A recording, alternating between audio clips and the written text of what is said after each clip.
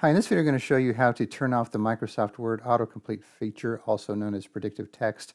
So what that does is when you're typing, it'll kind of guess what you're trying to uh, type and then give you some of its own suggestions, and then you could go ahead and use that.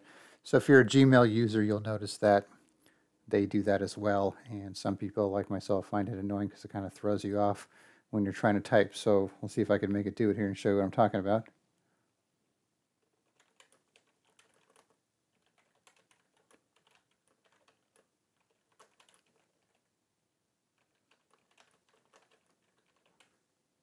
See how it does that? And then you could press tab to have it finish.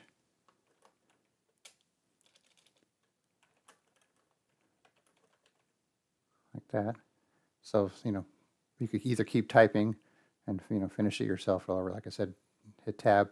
But some people don't like that because, you know, if, if I didn't want to type suggestions, I was trying to type something else, then that might mess me up, you know, in my spelling. So, uh, so to get rid of that, pretty simple you know, normally you'd be able to go down here, it says text predictions on. If you right click on that and you uncheck that, it should turn it off, but for me it didn't work, so you might have better luck, or maybe if you're using a different version of Word, you'll have better luck.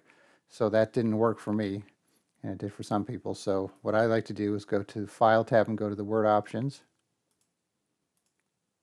then go to the Advanced section, and then you'll see this checkbox here, Show Text Predictions While Typing. If you, if you hover over this informational thing here, it'll supposed to tell you what it'll do. There you go. So just uncheck that and click OK. And then if we try and type it again here,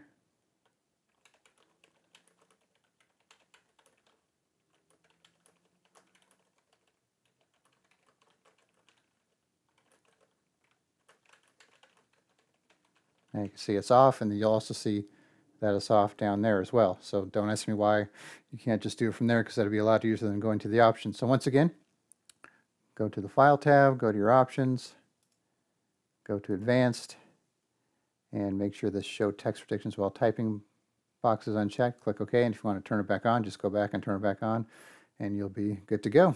All right, that's about it. Thanks for watching, and be sure to subscribe.